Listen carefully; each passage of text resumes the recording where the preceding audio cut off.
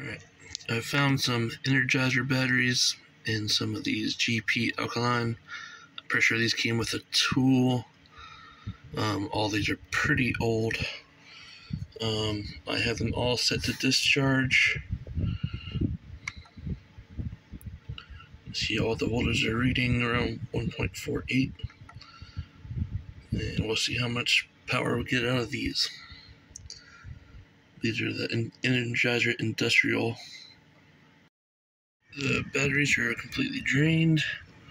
Uh, they haven't moved in a while. You can see the both the Energizers got over 1700.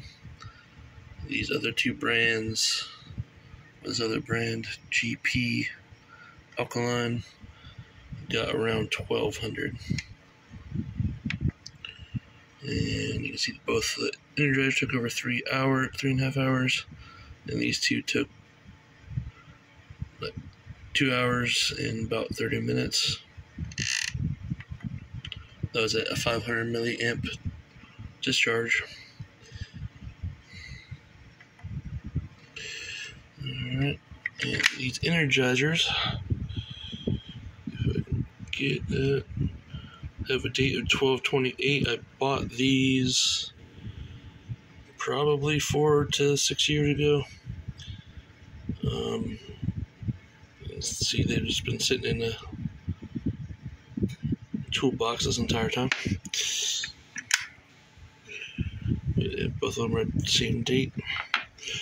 Pretty sure the type of batteries I got for that wireless um, scale, refrigerant scale. These supposedly went bad on 11 2021. Or maybe that was when they were made.